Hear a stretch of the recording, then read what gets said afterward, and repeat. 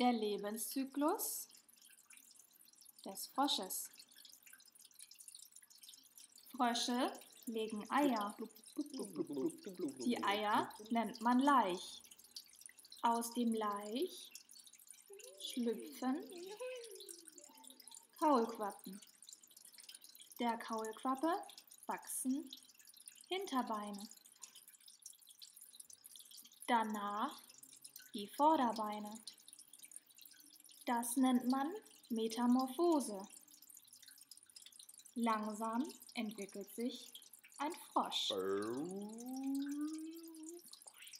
Zwei Frösche paaren sich. Und alles beginnt von vorn.